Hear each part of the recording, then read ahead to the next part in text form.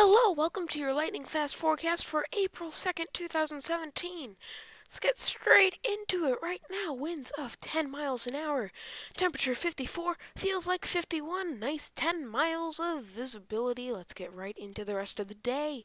Today, 40% chance of rain. Showers are going to come through the entire area. High of 68, low of 54, with a 50% chance of rain tonight. Let's get now into the seven day forecast. You'll see for the next week. Monday, severe weather still possible. 100% chance of rain. High of 67, low 53. You'll see that cold front settle in. It'll get slightly colder on Tuesday, with storms likely to head through somewhere about the area. There is a 60% chance of you getting that rain. Wednesday, 100% chance of rain. Not sure if it's going to be severe or not yet.